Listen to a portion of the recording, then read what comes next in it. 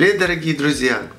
Сегодня я вам покажу рецепт приготовления домашнего супа с гречкой и фрикадельками. Для этого нам понадобится лук репчатый, вот такая вот маленькая одна головочка, которая примерно около 70 грамм. Готовлю я на две порции супа.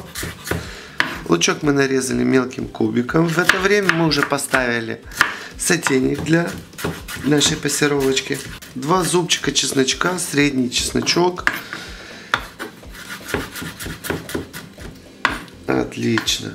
Морковочку. Морковочку мы натрем на терочку. Терочка у нас крупная. Быстренько мы все это делаем.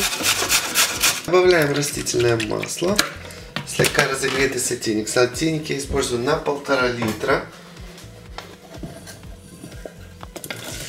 Отправляем сначала чесночок и лучок.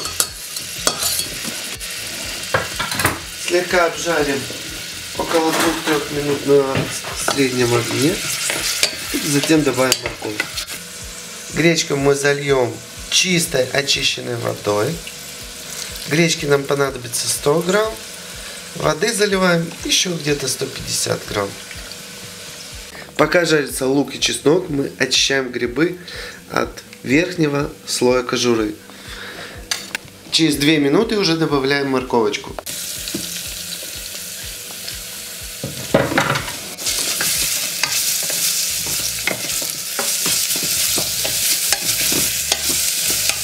Грибы нарезаем пополам и крупным слайсом.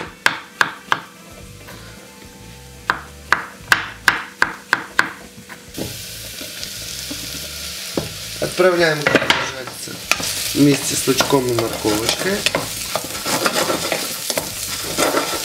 А обязательно нужно добавить сливочного масла. Добавляем 250 грамм грибов и сливочного масла 25 грамм. Одна картошечка в 100 грамм примерно. Нарезаем мы ее на такие длинные слайсы. И потом брусочками. Того, как грибы пустили сок, добавляем очищенную воду.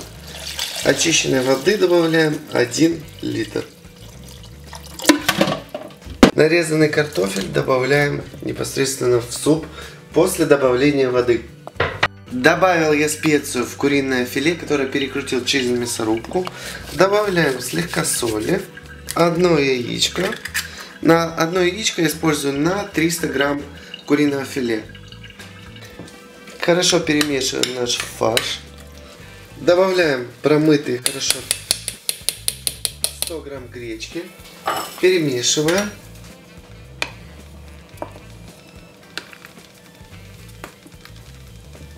Оставляем на медленном огне и даем повариться 15 минут. Снимаем лишнюю пенку.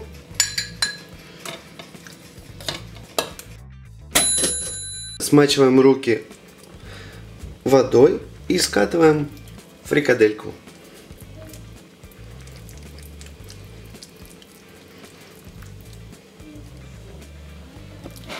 После того, как закинули наши фрикадельки, мы проварим еще 4 минуты и снимаем с огня. Ну что ж, поддаем наш готовый домашний супчик с гречкой и грибами.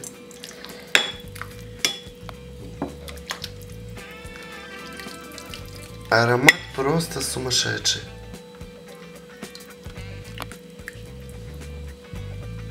Сверху осталось положить слегка нежной зелени, петрушки и укропа.